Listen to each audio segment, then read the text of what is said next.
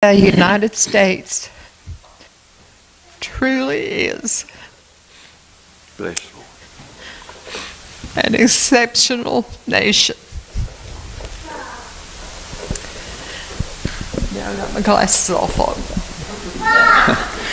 Bless your heart, you.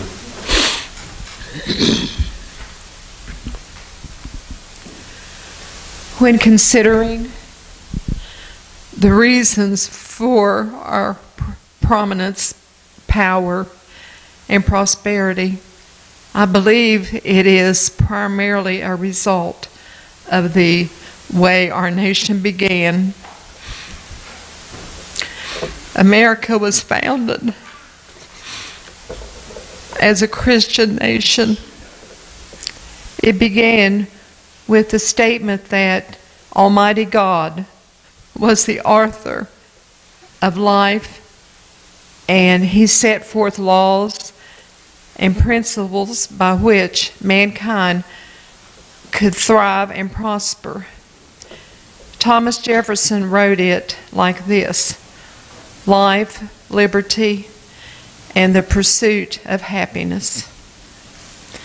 Since its beginning, the citizens of this country have had the opportunity to enjoy what few in life will ever experience true freedom and personal liberty, the opportunity to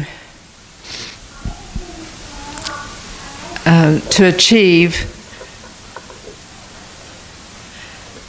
oneself better ones and to better oneself and to succeed. It truly sets us apart from most of the known world. It is obvious to everyone, anyone paying attention, that America is in trouble. It will take a miracle to reset this nation and put us once again on an upward path. God is the holy and sovereign ruler of all there is. God is in control. Amen. Amen. And I wrote a couple of comments that Bless you, Julie. it says, you know, I think uh, our forefathers would not believe